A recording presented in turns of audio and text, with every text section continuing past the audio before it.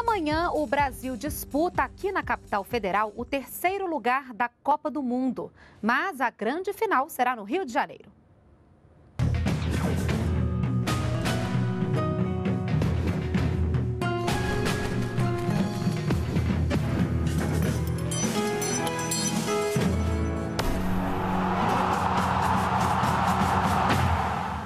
E nós vamos direto ao Rio de Janeiro, lá no Centro Aberto de Mídia, falar com Thaisa Dias. Boa noite, Thaisa. Olá, Renata, boa noite. Faltam dois dias para a grande final no Maracanã, aqui no Rio de Janeiro, entre a Alemanha e a Argentina. E para manter a segurança dos torcedores na cidade, cerca de 26 mil homens vão trabalhar para garantir a tranquilidade no dia da partida a maior operação de segurança pública já feita no Rio de Janeiro. É isso que turistas e moradores da capital fluminense vão ver no domingo, 13 de julho, final da Copa do Mundo. Quase 26 mil homens vão trabalhar para garantir a tranquilidade no dia da partida decisiva entre Alemanha e Argentina. Entre eles estão quase 15 mil policiais militares. Além do jogo, os profissionais vão atuar na segurança da presidenta Dilma Rousseff e dos chefes de Estado que vêm ao Rio para a final do torneio. Nós vamos ter aqui, pelo menos até agora, em torno de 15 uh, uh, autoridades, uh, chefes de, de, de, poder executivo.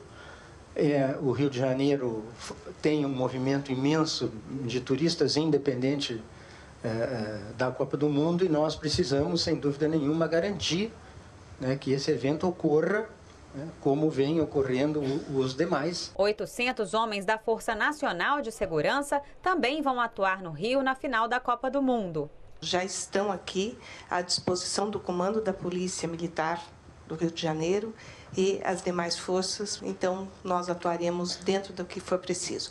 Temos policiais civis, militares, peritos e bombeiros. Já um efetivo operando aqui é, desde o início da Copa, incrementado a partir dos jogos anteriores e agora para a final com a operação máxima aqui no Rio de Janeiro.